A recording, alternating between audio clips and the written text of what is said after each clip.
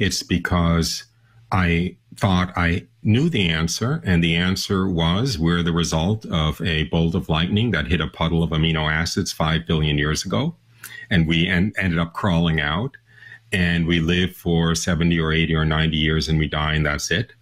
And there's no pattern or meaning to anything. Uh, and that was a pretty despairing prospect. Walking along, lost in my thoughts, from when from one moment to the next, the uh, curtain between the physical world and the spiritual world disappeared.